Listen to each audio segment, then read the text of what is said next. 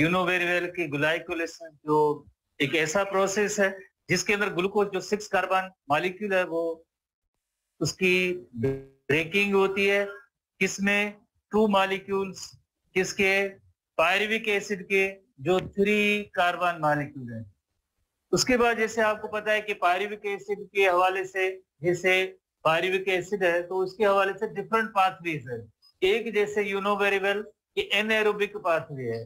Anaerobic pathway anaerobic pathway जिसे fermentation कहते हैं एनएरोबिक रेस्पिरेशन और फर्मेंटेशन तो फर्मेंटेशन या एनएरोबिक रेस्पिरेशन के हवाले से अगर एंड प्रोडक्ट लैक्टिक एसिड बनती है, अगर एंड प्रोडक्ट लैक्टिक एसिड है तो उसे हम कहते हैं लैक्टिक एसिड फर्मेंटेशन अगर एंड प्रोडक्ट जैसे अल्कोहल है तो उसे हम कहते हैं अल्कोहलिक फर्मेंटेशन अगर एंड प्रोडक्ट प्रोडक्ट जैसे अल्कोहल है ethanol that is called alcoholic fermentation तो इसी तरह से अगर आगे जिस तरह से पायरिविक एसिड अगर लिंक रिएक्शन या ट्रांजिशन रिएक्शन इसी पायरिविक एसिड की लिंक रिएक्शन या ट्रांजिशन रिएक्शन लिंक रिएक्शन या ट्रांजिशन रिएक्शन भी कहते हैं, जिसे also called transition reaction because ये किसको लिंक करता है?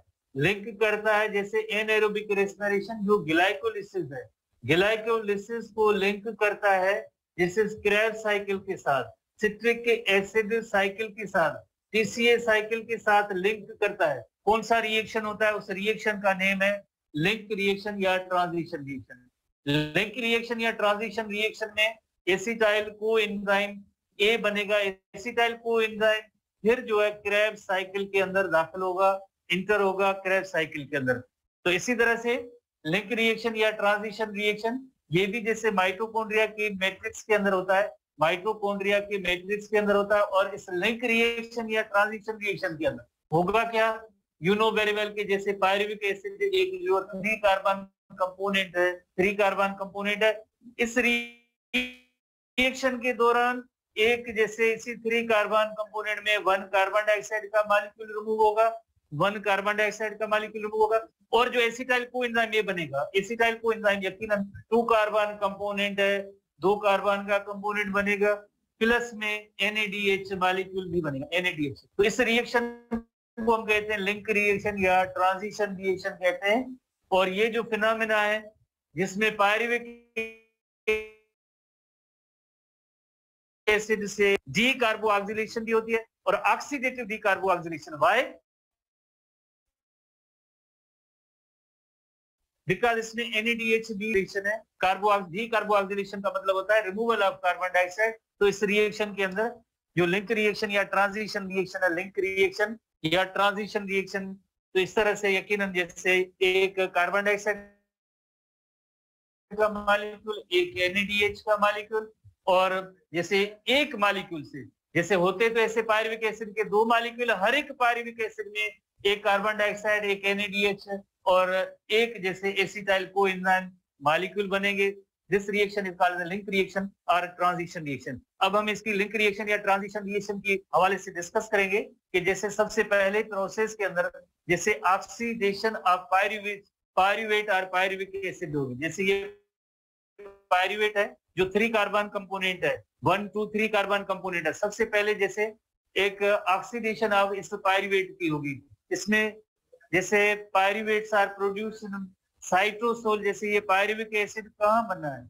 आपने देखा था कि ग्लूकोज से जैसे ये पायरुविक एसिड बना था, कहाँ बना था? साइटोप्लाज्म और साइटोसोल के अंदर। कौन सी रेस्पिरेशन थी? इसमें ऑक्सीजन की ज़रूरत नहीं थी, ये एनएरोबिक रेस्पिरेशन थी। Because pyruvate is a charged it must enter into the mitochondria via active transport with the help of protein transport. अब ये पायरुविक एसिड को किसके अंदर इंटर होना है? ये माइटोकॉन्ड्रिया के अंदर इंटर होना है। और माइटोकॉन्ड्रिया के अंदर जब इंटर होगा तो एक्टिव ट्रांसपोर्ट के ज़रिए एक खास किस्म के प्रोटीन मालिक्यूल होते हैं, जिसे हम कहते हैं ट्रांसपोर्ट प्रोटीन कहते हैं। माइटोकॉन्ड्रिया की मेम्ब्रेन के अंदर ट्रांसपोर्ट प्रोटीन होगा। इसकी मदद से ये जो पायरुविक एसिड पायरुविक एसिड दाखिल होगा। बट इस अब नहीं, यकीनन इसके डिफरेंट जैसे स्टेप्स होते हैं। पहले पहले स्टेप में ये होता है कि जैसे on entering the mitochondria pyruvates do not directly participate in the Krebs cycle ये पायरिवेट डायरेक्टली जैसे क्रैब साइकिल या सिट्रिक एसिड साइकिल में इंटर नहीं होगा बट ये पायरिवेट किसमें चेंज होगा? Pyruvate acid pyruvic acid acetyl coenzyme A में चेंज होगा। Acetyl coenzyme A then Krebs cycle के अंदर इंटर होगी। तो पायरिवेट सबसे पहले ट्रांसपोर्ट प्रोटीन जो माइटोकॉन्ड्रिया की मेम्ब्रेन में होते हैं यही ट्रांसपोर्ट मेम्ब्रेन इनकी मदद से एक्टिव ट्रांसपोर्ट की मदद से देन इंटर तो होगा बट फॉर्म क्या होगा? एसिटाइल को एंजाइम की सूरत में। एसिटाइल को एंजाइम की सूरत में but they undergo a intermediate phase called oxidation of pyruvate और link reaction because link reaction क्यों कहते हैं? बिकॉज़ कि ये एनएरोबिक रेस्पिरेशन जो ग्लाइकोलिसिस होती है, और फाइनली जैसे क्रैब साइकिल है, यहाँ पे ऑक्सीजन की ज़रूरत होती है।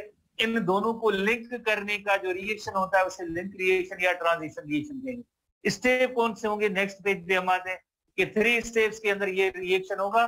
फ़र्स्ट स्टेप में डी कार्बो ऑक्सीलेशन का प्रोसेस होगा। डी कार्बो ऑक्सीलेशन यानी जिसमें कार्बन डाइऑक्साइड जो है, ये इसकी रिमूवल होगी फ्रॉम द पायरुवेट जैसे ये पायरुवेट या पायरुविक एसिड जैसे थ्री कार्बन कंपोनेंट है, उसमें कार्बन डाइऑक्साइड की रिमूवल होगी। किस तरह से रिमूवल होती है? जैसे आप यकीनन इसमें देख रहे हैं कि जैसे ये C O O carbon dioxide carbon dioxide की रिमूवल हुई। ये कार्बन डाइऑक्साइड के रिमूवल के अमल को हम कहेंगे डी कार्बो ऑक्सीलेशन रिमेनिंग क्या बचेगा इसमें? एसिटाइल अल्डिहाइड बचेगा।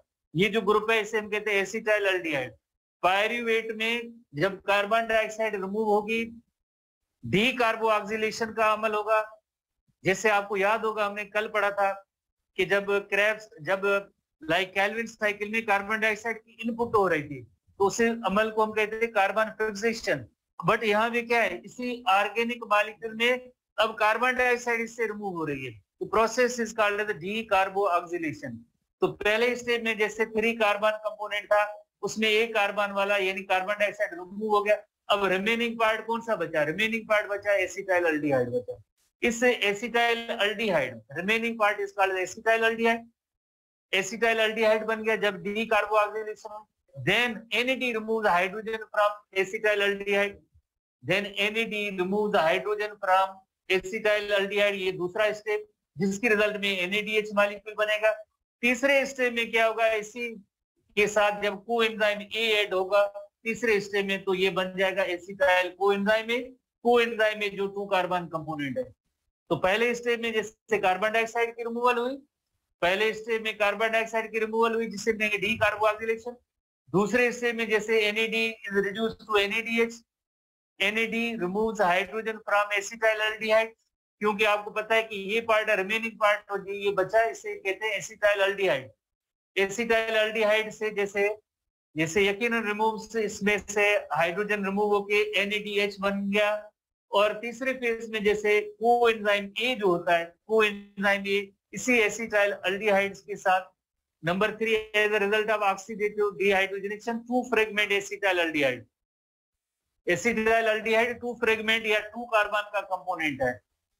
एन एनएडीएच जो इसमें तो प्रोड्यूस हो जाते हैं। एनएडीएच भी प्रोड्यूस हो गया और एसिटाइल अल्डिहाइड भी बना। आखिरी जैसे एसिटाइल ग्रुप जो है is combined with coenzyme acetyl group या एसिटाइल अल्डी में एक एसिटाइल कोएंजाइम ए बन जाएगा। Acetyl coenzyme A two carbon component है। अब जैसे हम कहेंगे कि pyruvic acid is converted into acetyl coenzyme A with the release of one carbon dioxide and one NADC ये ऐसा काउंट आगे जाके फाइनली जैसे हम लाइक काउंट बनाएँगे एटीपी मॉलिक्यूल्स का तो यकीनन उसके अंदर इन चीज़ों को डिस्कस करेंगे। तो तीसरे स्टेप में जैसे finally acetyl group is combined with coenzyme to form acetyl coenzyme इस तरह से एसिटाइल कोएंजाइम ए बन जाता है। अब ये acetyl coenzyme A link reaction या ट्रांजिशन रिएक्शन के अंदर जैसे इसकी यकीनन एंट्री होगी कि pyruvic acid is converted into acetyl coenzyme acetyl coenzyme now participate into Krebs cycle Krebs cycle या citric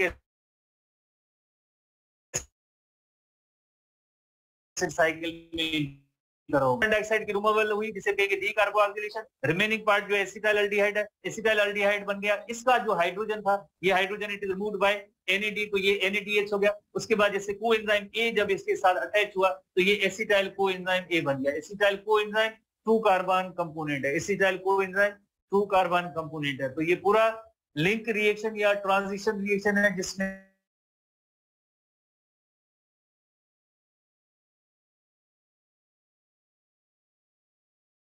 हुआ एसिटाइल ग्रुप के साथ और रिमेन अब जो अब नेक्स्ट जो बच, बन गया acetyl coenzyme acetyl coenzyme enter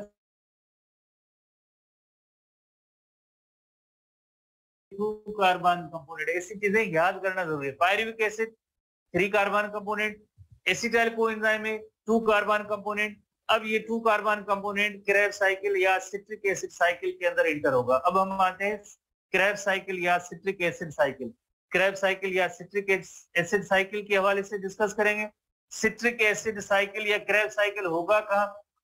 matrix of mitochondria mitochondria की जो मैट्रिक्स पार्ट है, उसके अंदर मैट्रिक्स पार्ट जैसे हमने पढ़ा था सेल चैप्टर के अंदर जो माइटोकॉन्ड्रिया की जैसे स्ट्रक्चर है स्ट्रक्चर वाइज अगर आपको याद हो कि माइटोकॉन्ड्रिया की किस तरह की स्ट्रक्चर होती है? एक होती है आउटर मेम्ब्रेन और दूसरी होती है इनर मेम्ब्रेन और इन दोनों मेम्ब्रेन के दरमियान जो है इंटर मेम्ब्रेन स्पेस होता है इंटर मेम्ब्रेन स्पेस होता है और इसी तरह से ये जो फोल्ड्स है, इन्हें हम कहते हैं क्रिस्टा कहते हैं और ये जो खाली जैसे अंदर स्पेस पड़ा है, इसे हम कहते हैं मैट्रिक्स कहते हैं। इस स्पेस को हम कहते हैं मैट्रिक्स तो मैट्रिक्स ऑफ़ माइटोकॉन्ड्रिया के अंदर क्रैब साइकिल होगा। मैट्रिक्स ऑफ़ सिंपली मैट्रिक्स भी कहते हैं या माइटोकॉन्ड्रियल मैट्रिक्स कहते हैं, इसके अंदर क्रैब साइकिल और सिट्रिक एसिड साइकिल होता है। तो थोड़ी देर पहले आपने पढ़ा था कि लाई की जो ट्रांसपोर्टर प्रोटीन की मदद से जैसे पायरुविक एसिड या पायरुवेट है ये कन्वर्ट हुआ देन एसिटाइल को ये भी ये भी इस मैट्रिक्स के अंदर हुआ। अब मैट्रिक्स के अंदर जैसे यकीनन कौन सा another process that is called citric acid cycle जिसे टीसीए साइकिल भी कहते हैं क्रैब साइकिल भी कहते हैं। क्रैब साइकिल भी कहते हैं उसका फिनामिना होगा। इसमें जब साइकिल लफ्ज हम ऐड करते हैं तो इसका मतलब है साइक्लिक इवेंट्स है। जैसे एसिटाइल को एंजाइम की इनपुट होगी या एंट्री होगी। एसिटाइल को एंजाइम जो अभी लिंक रिएक्शन या ट्रांजिशन रिएक्शन के ज़रिए बना था, उसके बाद जैसे एक सीरीज़, एक पूरी सीरीज़ है, साइक्लिक इवेंट है, साइक्लिक इवेंट्स हैं जिसमें जैसे एसिटाइल को में ऑलरेडी प्रेजेंट जैसे इसमें फोर कार्बन कंपोनेंट मौजूद है, जिसका नेम है ऑक्जेलो एसिटिक एसिड या ऑक्जेलो एसिटेट उसके बाद इस oxaloacetate plus two carbon component यकीनन टू कार्बन कंपोनेंट है, जिसका नेम है एसिटाइल को में। जैसे हाइड्रेशन का अमल होगा, उसमें बनेगा सिट्रेट सिट्रेट के बाद जैसे यकीनन एक सिस एकोनिटेट बनता है सिस एकोनिटेट के बाद आइसोसिट्रेट सिट्रेट के बाद आइसोसिट्रेट सिट्रेट के बाद आइसोसिट्रेट आइसोसिट्रेट के बाद जैसे यकीनन एक another another component that is isocitrate के बाद uh, ये इंटरमीडिएट है बट हमारे बुक में इनकी डिस्क्रिप्शन नहीं अल्फ़ा कीटो ग्लूटेरेट बनेगा with removal of one carbon dioxide और इसी तरह से NAD is reduce to NADH भी होगा। एक NADH मॉलिक्यूल एक कार्बन डाइऑक्साइड मॉलिक्यूल इसी तरह से इस अल्फ़ा कीटो ग्लूटेरेट के बाद इसमें सक्सिनिल को एंजाइम ए होगा। NAD is reduce to NADH ये भी होगा एक कार्बन डाइऑक्साइड का मॉलिक्यूल भी यहाँ से रिमूव होगा। तो अल्फ़ा कीटो कीटोग्लूटेरेट पहली बार जब डी कार्बोक्सिलेशन हुआ तो ये फाइव कार्बन बन गया। आइसोसिट्रेट तक सिक्स कार्बन कंपोनेंट थे, उसके बाद जैसे अल्फ़ा कीटो कीटोग्लूटेरेट है, ये five carbon succinyl coenzyme है, यहाँ से भी जैसे एक और कार्बन रिलीज़ हुआ था तो अगेन ये फोर कार्बन है फोर कार्बन का कंपोनेंट सक्सीनिल को एंजाइम के बाद सक्सीनेट सक्सीनेट के बाद फ्यूमेरेट फ्यूमेरेट के बाद मेलेट मेलेट के बाद यकीनन ऑक्जेलो एसिड बनता है। तो इसमें एक लाइक जैसे एंजाइम कौन से यूज़ होते हैं, इनका ज़िक्र नहीं है बट हमारे बुक के अंदर यही है कि कौन कौन से जैसे एक साइक्लिक इवेंट्स के दौरान एक, बहुत इंपॉर्टेंट कि कार्बन डाइऑक्साइड किन किन जगहों पे बनती है। नंबर टू कि लाइक एटीपी किस जगह पे बनेगा। नंबर थ्री एनएडीएच कहाँ कहाँ पे बनेंगे। नंबर फोर कि एफ़ किन किन जगहों पे जैसे बनते हैं। ये चीज़ें आपको याद करनी है। जैसे जहाँ पे डी कार्बोक्सिलेशन हो रही है, वहाँ पे एनएडी रिड्यूस टू एनएडीएच भी होता। है एक बार नंबर टू जैसे एक और भी पॉइंट है, जहाँ पे भी NAD reduce to NADH malate और malic acid is converted into oxaloacetic acid तब यहाँ बनेगा।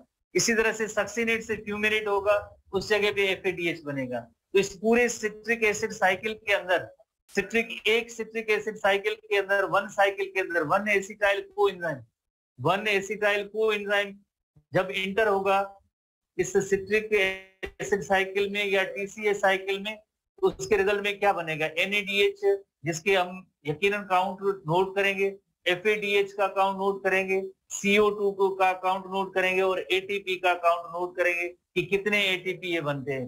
एक एसिटाइल को एंजाइम ए जब इंटर होगा टीसीए साइकिल के अंदर तो थ्री एनएडीएच एक F two molecules of carbon dioxide and one molecules of 80 one molecule of ATP is produced during one one acetyl coenzyme जब TCA साइकिल के अंदर enter होगा। इसी तरह से जब, क्योंकि है जैसे दो ऐसे, दो मालिक्यूल एसिटाइल कोएंजाइम के एनदर साइकिल होगा तो इसका हम डबल करेंगे। एनएडीएच सिक्स हो जाएँगे एफएडीएच टू हो जाएँगे कार्बन डाइऑक्साइड के चार हो जाएँगे, और इसी तरह से एटीपी मालिक्यूल जो वो दो हो जाएँगे। तो और एटीपी जो बनते हैं वो सबस्ट्रेट लेवल फास्फोरिलेशन प्रोसेस के ज़रिए बनेंगे। ऑक्सीडेटिव अभी नहीं सबस्ट्रेट लेवल फास्फोरिलेशन वही सेम तरीका जो सुबह हमने डिस्कस किया था ग्लाइकोलिसिस के दौरान, जिससे सबस्ट्रेट लेवल फास्फोरिलेशन हुई थी, वही उसी तरीके के ज़रिए एटीपी मालिक्यूल बनेंगे। तो ये सारे सीरीज़ अब इवेंट वन आफ्टर अनदर हम डिस्कस करेंगे। पहले इवेंट दूसरे, तीसरे, चौथे इवेंट में जैसे क्या होते हैं और वन बाय वन पहला स्टेप जैसे है सिंथेसिस का स्टेप है। Number one step that is called synthesis पहले पहले स्टेप के अंदर आपको पता है कि एसिटाइल को एंजाइम जो कहाँ से आया था? लिंक रिएक्शन या ट्रांजिशन रिएक्शन के साथ आया लिंक रिएक्शन या transition reaction citric acid cycle के अंदर ऑलरेडी ऑक्सिलो एसिटिक एसिड है, जो चार कार्बन कंपोनेंट है प्लस में दो कार्बन वाला कौन सा एसिटाइल कोएंजाइम है। रिज़ल्ट में कौन सा एक सिक्स कार्बन का कंपोनेंट बनता है, जिसका नेम है, जिसका नेम है सिट्रेट तो इस सिट्रेट के बनने के अमल की वजह से इसे सिट्रिक एसिड साइकिल भी कहते हैं। सिट्रेट के अंदर थ्री थ्री ओइच जैसे कार्बो ऑक्सिलिक ग्रुप होते हैं तो इसे tri TCA cycle tricarboxylic cycle भी कहते हैं सिट्रेट जैसे ये शुरू की पहली पहली पॉइंट्स के अंदर ये वेरी क्लियर है कि जैसे इनके डिफरेंट नेम्स के हवाले से। सर हांस क्रेब की वजह से इसे क्रेब साइकिल कहते हैं क्रेब साइकिल इसी तरह से इन क्रेब साइकिल दो कार्बन का मालिक्यूल जैसे एसिटाइल को ये कहते हैं। जो चार कार्बन का कंपोनेंट इस ऑक्सिलो एसिटिक एसिड के साथ मिलके सिट्रेट बनाएगा, पहला स्टेबल कंपाउंड सिट्रेट होता है तो इस वजह से सिट्रिक एसिड साइकिल कहता है। इसे ट्राई कार्बो ऑक्सिलिक एसिड साइकिल या टीसी साइकिल भी कहते हैं। वाई बिकॉज़ इस कंपाउंड के अंदर जो है, सिट्रिक एसिड या सिट्रेट के अंदर थ्री कार्बो ऑक्सिलिक एसिड ग्रुप होते हैं। जैसे थ्री ये कार्बन है वन टू थ्री कार्बन है। हर के साथ कार्बो ऑक्सिलिक ग्रुप होगा इस वजह से हम इसे कहते हैं ट्राई कार्बो ऑक्सिलिक एसिड साइकिल या टीसीए साइकिल कहते हैं। ये कार्बो ऑक्सिलिक ये भी कार्बो ऑक्सिलिक ये carboxylic group three carboxylic acid जैसे ग्रुप्स होते हैं तो इस वजह से टीसीए साइकिल कहते हैं।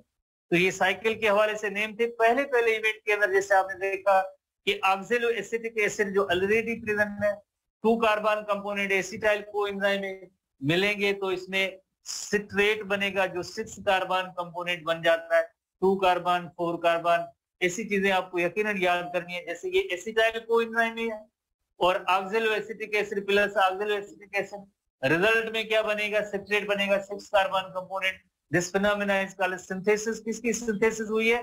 सिट्रेट की हुई है। एसिटाइल को में जो टू कार्बन कंपोनेंट है and water molecules combine with oxaloacetic acid क्या बनेगा जो oxaloacetic acid four carbon compound है, उसके रिज़ल्ट में सिक्स कार्बन कंपोनेंट बनेगा, जिसका नेम है सिट्रिक एसिड और सिट्रेट तो ये first product of the Krebs cycle है first product of the Krebs cycle है, जिसके अंदर थ्री कार्बो ऑक्सिलिक एसिड ग्रुप है। इस वजह से हम टीसीए साइकिल भी कहते हैं। तो पहला स्टेबल कंपोनेंट जैसे सिक्स कार्बन है that is called citrate acetyl coenzyme में ऑक्सिलो एसिटेट वाटर मॉलिक्यूल की जैसे एडिक्शन हुई है और इस तरह से ये सिट्रेट बना है। तो पहले स्टेप को हम कहेंगे सिंथेसिस दूसरा स्टेप है जिससे कहेंगे डिहाइड्रेशन डिहाइड्रेशन लाइक डिहाइड्रेशन की मीनिंग होती है जैसे रिएक्शन से वाटर की रिमूवल तो उसे हम कहते हैं डिहाइड्रेशन तो यानी citrate undergoes reorganization by the removal of the water molecule इसमें वाटर मालिक्यूल की रिमूवल होगी the resulting component is called cis aconitate उसके रिज़ल्ट में एक cis एकोनिटेट बनेगा। फिर एनदर रिएक्शन के अंदर क्या होगा? वाटर मॉलिक्यूल जब ऐड होंगे तो वह इससे आइसोसिट्रेट बनेगा। तो सिंपली ये कहेंगे citrate is converted into isocitrate citrate is converted into isocitrate पहले रिएक्शन के अंदर यहाँ पे डिहाइड्रेशन होगी, दूसरे रिएक्शन के अंदर यहाँ पे रिहाइड्रेशन होगी। डिहाइड्रेशन वाटर की रिमूवल रिहाइड्रेशन वापस वाटर की एडिशन होगी, और इसके रिज़ल्ट में जैसे यकीनन आइसोसिट्रेट बनेगा। Citrate is converted into isocitrate citrate undergoes reorganization by the removal of the water molecule, resulting cis aconitate बनेगा। Cis aconitate के बाद then again water की addition और आइसोसिट्रेट बनेगा। ये नंबर टू स्टेट था। ठीक है, ये जैसे ऑक्सिलो सिट्रेट था सिट्रेट से सिस एकोनिटेट सिस एकोनिटेट से आइसोसिट्रेट यहाँ से वाटर मॉलिक्यूल की रिमूवल हुई और यहाँ से दोबारा से वाटर मालिक्यूल की एडिशन और ये आइसोसिट्रेट बन गया। तो आइसोसिट्रेट अभी भी सिक्स कार्बन कंपोनेंट है।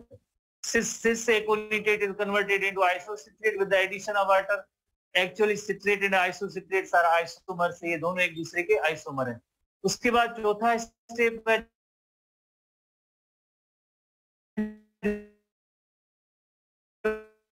रिएक्शन भी होता है इस स्टेप में as well as decarboxylation होता है। जैसे आपको पता है कि आइसोसिट्रेट जिससे सिट्रेट से आइसोसिट्रेट बना है सिट्रेट भी सिक्स कार्बन कंपोनेंट है आइसोसिट्रेट भी सिक्स कार्बन कंपोनेंट एक जैसे प्रोसेस होता है, जिसे हम कहते हैं डी कार्बोक्सिलेशन यानी कार्बन डाइऑक्साइड की रिमूवल हुई प्लस में जैसे oxidation NAD is reduce to NADH भी होगा। तो यानी एक NADH का मॉलिक्यूल एक कार्बन डाइऑक्साइड का इस रिएक्शन में बनेगा। जैसे ये आइसोसिट्रेट है इंजाइमेटिक पाथवे इंजाइम्स की कैटालिसिस की वजह से ऐसे रिएक्शन होते हैं, जिसमें क्या होगा कि एनएडीपी एनएडीपी और एन जैसे NAD is reduce to NADH और रिज़ल्ट में क्या बनेगा? एक जैसे कार्बन डाइऑक्साइड का मॉलिक्यूल यहाँ पे रिमूवल हुआ है और सिक्स कार्बन से अब ये फाइव कार्बन कंपोनेंट बन जाता है, जिसका नेम है अल्फ़ा कीटो ग्लूटेरिक एसिड तो जो साइकिल है, उसमें जैसे O A oxalo acid acetyl coenzyme है सिट्रेट जो सिक्स कार्बन कंपोनेंट है, ये फोर कार्बन था, ये टू कार्बन और आइसोसिट्रेट भी सिक्स कार्बन था। फ़र्स्ट टाइम जैसे कार्बन यहाँ कार्बन डाइऑक्साइड की सूरत में इसकी रिमूवल हुई है।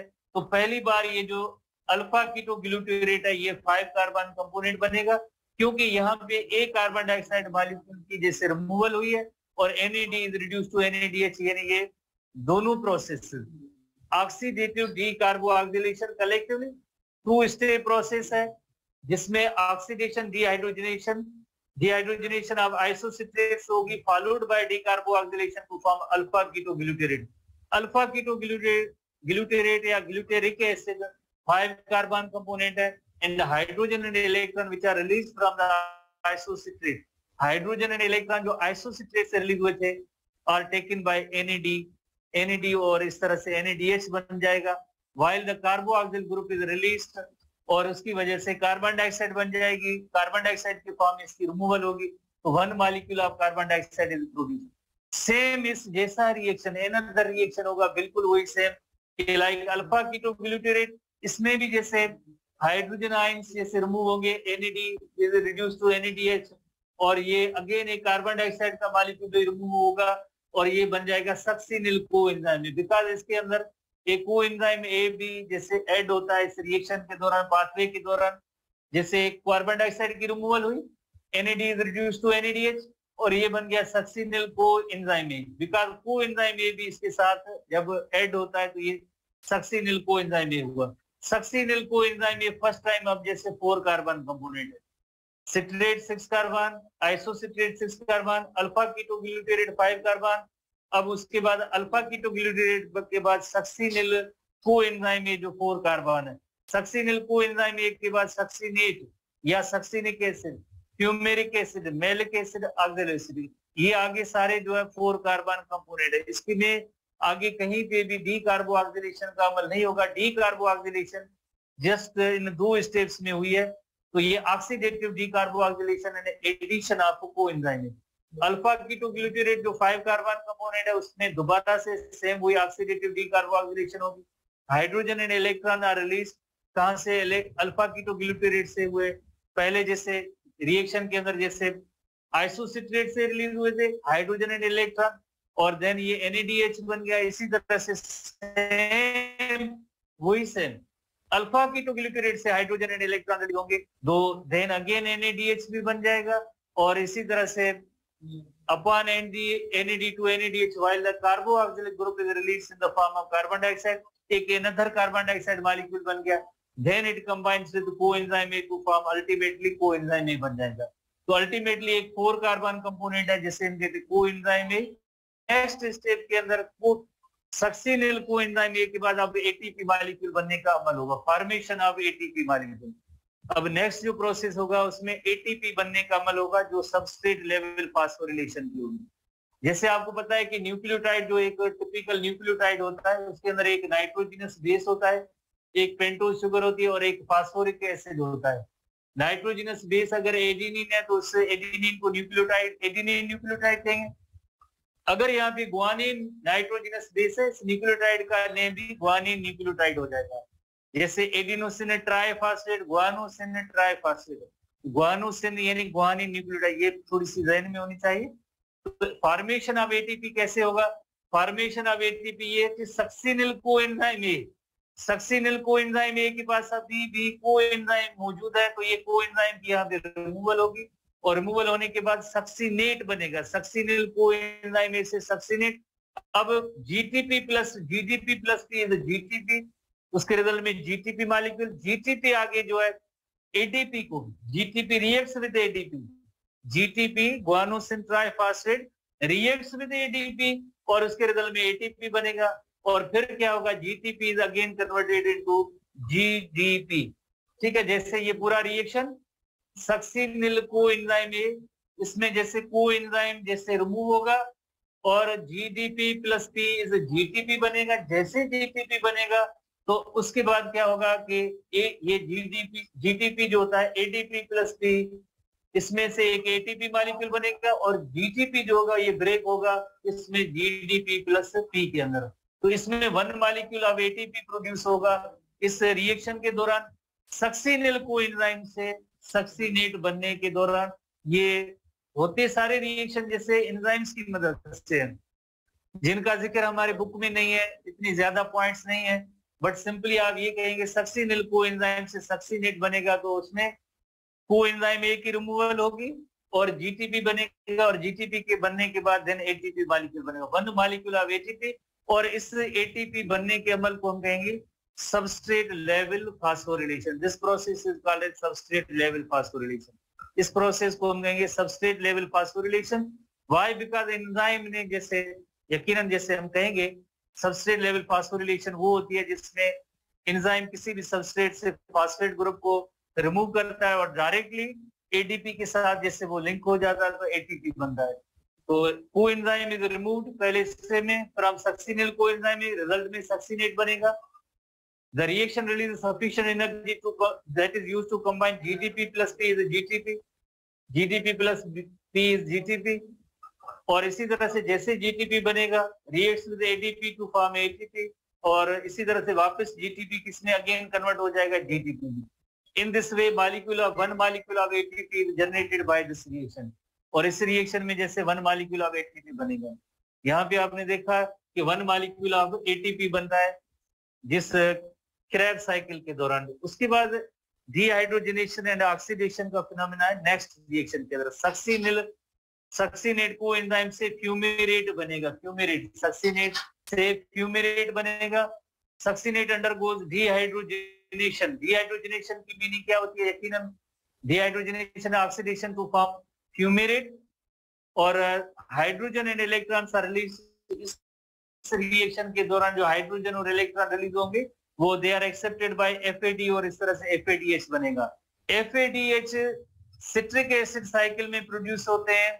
और ग्लाइकोलिसिस में नहीं होते हैं। ये सिट्रिक एसिड साइकिल में प्रोड्यूस होते हैं। लिंक रिएक्शन में भी एनएडीएच प्रोड्यूस होते हैं एफएडीएच नहीं प्रोड्यूस होते एनएडीएच एफएडीएच ये इलेक्ट्रॉन कैरियर है। वो आगे कहा जाएँगे?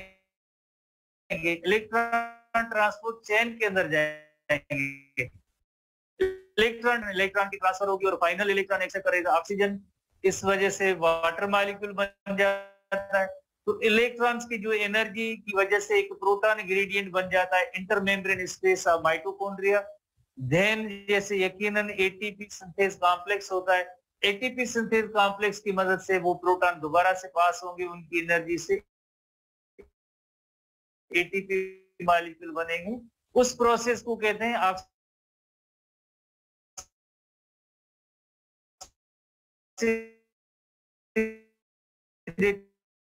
phosphorylation are taken by FAD to form FADH. जैसे पाथवे के हवाले से साइक्लिक इवेंट्स हैं oxaloacetic acid plus two carbon component acetyl coenzyme A citric acid citric acid से आइसोसिट्रेट आइसोसिट्रेट के बाद alpha ketoglutarate alpha ketoglutarate glutarate के बाद सक्सिनिल कोएंजाइम है सक्सिनिल कोएंजाइम है सक्सिनेट सक्सिनेट से फ्यूमेरेट फ्यूमेरेट से मेलेट मेलेट से वापस दोबारा ऑक्सिलोएसिडिफिकेशन सक्सिनेट फ्यूमेरेट मेलेट मेलेट से ऑक्सिलोएसिडिफिकेशन अब बहुत ही हम करीब आ चुके हैं, आखिर में ऑक्सिलोएसिटिक एसिड तक। हाइड्रेशन का प्रोसेस होगा। हाइड्रेशन की मीनिंग होती है एडिशन ऑफ़ वाटर इस रिएक्शन में जैसे एडिशन ऑफ़ वाटर हुई molecule of water added to fumarate fumarate के साथ एड होगा, उसमें बनेगा मेलेट बनेगा। मेलेट के बाद अगेन वही सेम फिनोमिना जिसमें जैसे आपने देखा था कि लाइक इलेक्ट्रॉन्स भी रिलीज़ होते हैं। Electron hydrogen and electron release होंगे और आगे उनको एक्सेप्टर होगा तो एनएडीएच एक और मालिक्यूल एनएडीएच का बन जाएगा। Dehydrogenation oxidation malate undergo dehydrogenation oxidation which produce malate से वापस ऑक्सिलोएसिटिक एसिड और जो ये जो इलेक्ट्रॉन थे एनएडी इसको एक्सेप्ट करेगा, इस तरह से एनएडीएच बन जाता है। The hydrogen and electron which are release from malate जो मेलेट से रिलीज़ होंगे, वो यकीनन एनएडी उसको टेक करेगा टेकअप करेगा और एनएडीएच बन जाएँगे। इसी तरह से वापस ऑक्सिलोएसिटिक एसिड बन गया। ऑक्सिलोएसिटिक एसिड बन गया तो दोबारा से एसिटाइल कोएंजाइम और इस तरह के साइक्लिक इवेंट्स होते रहेंगे। साइक्लिक इवेंट्स होते रहेंगे, उसमें आपने जैसे बहुत ही आसान तरीके से इनको देखना है। कौन कौन सी चीज़ें लाइक कार्बन डाइऑक्साइड की डी कार्बोक्सिलेशन का फिनोमेना किन किन जगहों पे होता है? जहाँ पे डी कार्बोक्सिलेशन का फिनोमेना होगा, वहाँ पे एनएडीएच मॉलिक्यूल भी बनते जाएँगे। बिकॉज़ यहाँ पे इलेक्ट्रॉन एंड प्रोटॉन जैसे रिमूव होंगे। एक सबस्ट्रेट से रिमूव होते हैं, दूसरे उनके एक्सेप्टर भी होते हैं।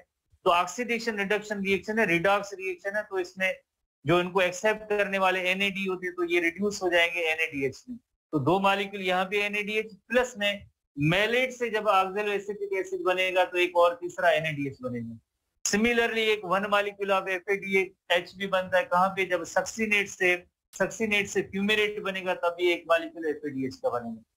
एटीपी मॉलिक्यूल कब बनता है? सक्सीनिल को एंजाइम से सक्सीनेट के दौरान वन मॉलिक्यूल ऑफ़ एटीपी बन रहा है।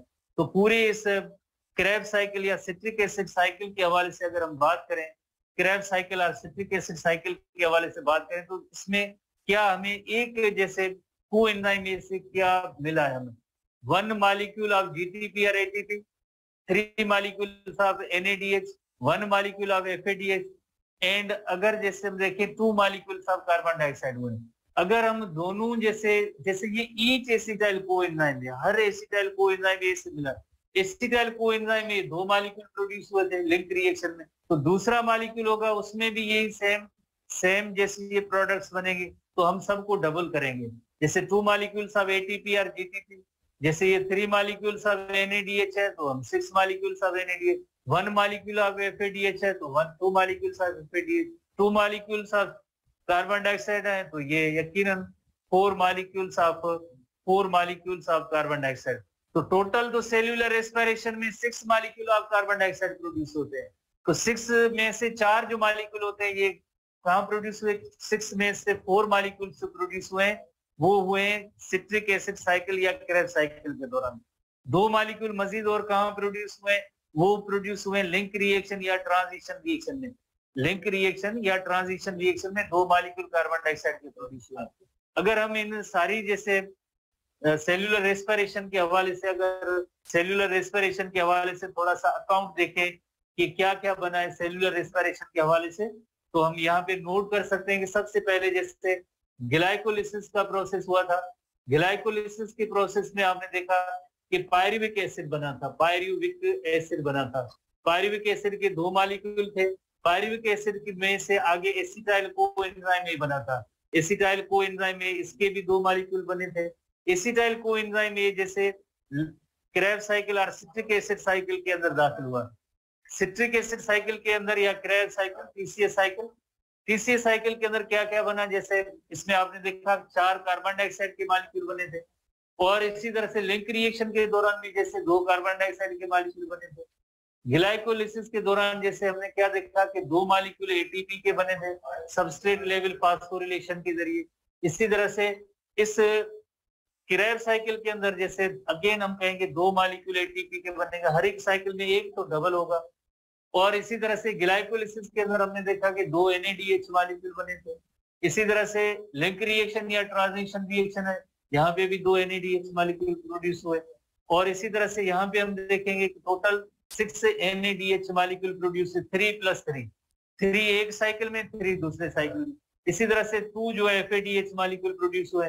अब ये सारे, कौन से लाइक ये जितने भी अभी ये जो प्रोड्यूस हुए हैं कि जैसे एनएडीएच और एफ़ ये चले जाएँगे इलेक्ट्रॉन ट्रांसपोर्ट चेन में। इलेक्ट्रॉन ट्रांसपोर्ट चेन में जाएँगे इलेक्ट्रॉन ट्रांसपोर्ट चेन में ईटीसी इलेक्ट्रॉन ट्रांसपोर्ट चेन में।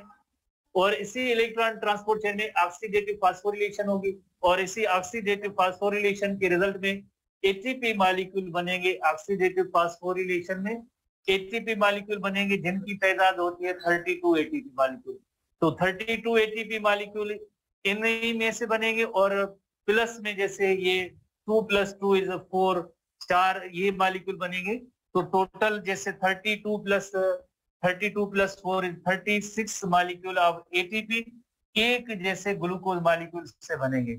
नेक्स्ट जैसे हम इसका एक अकाउंट भी बनाएँगे, हमारे एनटीपी बुक में भी मौजूद है कि how these 36 molecules of are produced. Six molecule of CO2 ये प्रोड्यूस हुए, सिक्स CO2 प्रोड्यूस हुए। 36 molecule ATP प्रोड्यूस हुए तो होपफुली हम ये आगे डिस्कस करेंगे बट जैसे अभी आपने पढ़ा कि सिट्रिक एसिड या क्रेब साइकिल इसके निमोनिक्स भी है। निमोनिक्स के हवाले से our our city is kept जैसे अगर एक स्टेटमेंट स्टेटमेंट बनाई जाए तो अवर उसकी एक निमोनिक्स है। स्टूडेंट्स ही बताते हैं अच्छे अच्छे निमोनिक्स के पास होते हैं। Our city is kept safe and secure safe and secure from mobsters from mobsters from mobsters अब अगर हम इनको जैसे लाइक जैसे ओ ओ को अगर देखें निमोनिक्स में oxaloacetic acid O A oxaloacetic acid C किसको ज़ाहिर करता है? सिट्रेट को करता है। और आई किसको ज़ाहिर करता है? आइसोसिट्रेट को। आइसोसिट्रेट आइसोसिट्रेट के बाद के किसको एक्सप्रेस करता है? अल्फ़ा कीटो ग्लूटेरेट को। अल्फ़ा कीटो ग्लूटेरेट को। अल्फ़ा कीटोग्लूटाइल कोएंजाइम है सक्सिनिल कोएंजाइम के बाद सक्सिनेट सक्सिनेट के बाद यकीनन क्या है? सक्सिनेट के बाद fumarate F for fumarate fumarate के बाद एम फॉर मेलेट मेलेट के बाद वापस दोबारा O A A oxalo acetic acid इसी तरह से आपने ये भी याद करना है कि एटीपी किन किन जगहों पे बना था कौन कौन से बहुत ही सिंपल एक ही जैसे, यकीनन जैसे एक ही आप इसी इलस्ट्रेशन में पूरा क्रैब साइकिल याद कर सकते हैं। जैसे आइसोसिट्रेट सिक्स कार्बन कंपोनेंट था आइसोसिट्रेट आइसोसिट्रेट और अल्फ़ा कीटोग्लूटेरेट आइसोसिट्रेट और अल्फ़ा कीटोग्लूटेरेट में यहाँ पे एक CO2 मॉलिक्यूल रिलीज़ हुआ था और एक जैसे NADPH भी बना था NADPH बना था। इसी तरह से ये अल्फ़ा कीटोग्लूटेरेट फाइव कार्बन बन गया। उसके बाद एक एनदर यही सेम एक कार्बन डाइऑक्साइड और एक यहाँ पे भी NADPH बना था। उसके बाद आपने देखा कि सक्सीनिल को एंजाइम से सक्सीनेट बना था, यहाँ पे एक एटीपी मालिक्यूल बना था एटीपी मालिक्यूल बना था। और इसी तरह से सक्सीनेट के बाद फ्यूमेरेट बनता है। सक्सीनेट से फ्यूमेरेट तो वहाँ पे एफ़ बना वन मालिक्यूल ऑफ़ एफ़ इसी तरह से देन यकीनन फ्यूमेरेट और देन अगेन मेलेट से वापस दोबारा ओ बनता है तो वन मालिक्यूल ऑफ़ एनएडीएच भी बना एनएडीएच बना। तो इसी तरह से टोटल जो एनएडीएच एक साइकिल के अंदर जैसे हम नोट करेंगे थ्री एनएडीएच और एक साइकिल में नोट करेंगे दो कार्बन डाइऑक्साइड एक साइकिल में अगर नोट करेंगे तो वन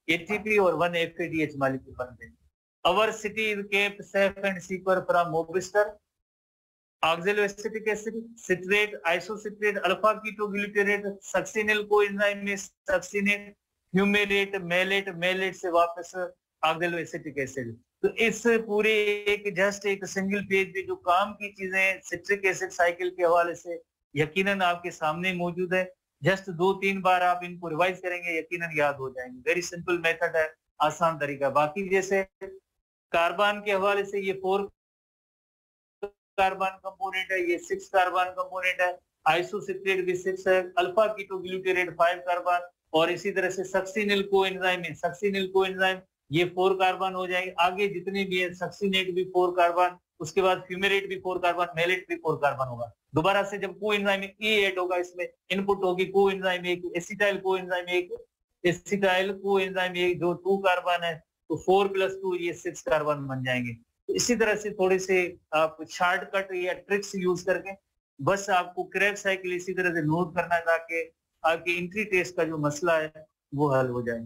ठीक है तो बस हम सीओ का है। नेक्स्ट हनीफ साहब।